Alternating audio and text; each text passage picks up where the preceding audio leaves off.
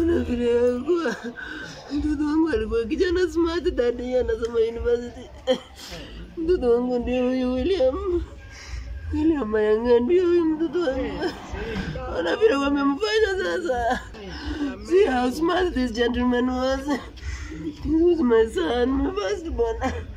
Mm. Ona vile wamemfanya sasa shwari.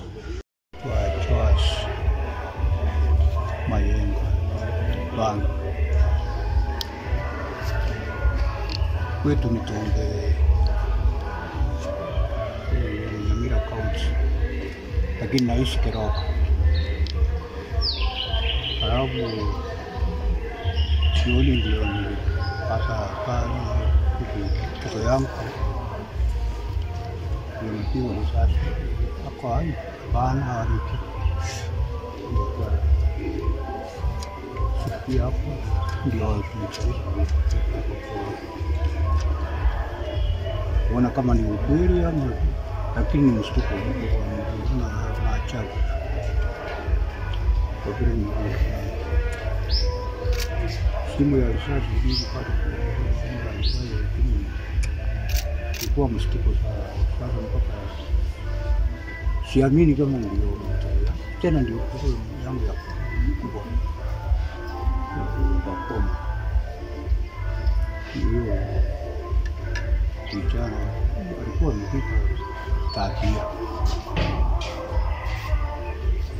sasa hata ni pia lakini yeye amekuwa mimi na na wao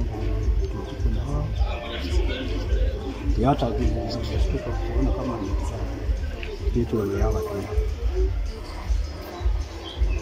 hata sijui kama ilikuwa nini, lakini ni mtoto mpole vile naona mambo mingi, lakini kukupa ngesi pia kama vingi Habari, nimeruka. Mimi ni mama ya mtoto mwenye aliuawa jana. Nilipata hizo habari kwa mshtuko mkubwa sana. Nikaambiwa mtoto ako hospitali na wakanitanganya tiaja kufa. Kufika nikaambiwa uko kwa mlango, mtoto alikufa kitambo. Sasa ninahuzunika sana, mtoto wangu firstborn kati ya Maseno. Nashangaa mtoto alifanya nini kuuawa? Mtoto wangu si bandit. Mm, Badala ya maskari kutulindia watoto tena wanaua. I've lost my child. My child was at Adian Maseno University. I've lost my child. How old?